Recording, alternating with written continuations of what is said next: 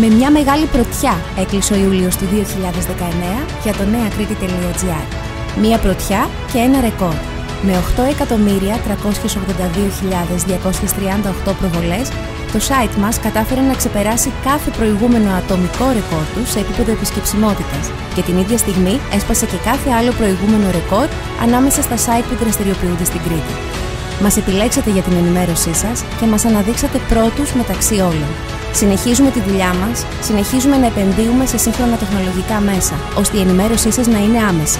Συνεχίζουμε τον καθημερινό αγώνα για να φτάνει η είδηση σε εσάς διασταυρωμένη και έγκυρη, αλλά και να έχετε τη δυνατότητα μέσα από το νέακρήτη.gr να είστε πλήρως ενημερωμένοι για όσα εκτελήσονται στο νησί μας, στην υπόλοιπη χώρα και τον κόσμο.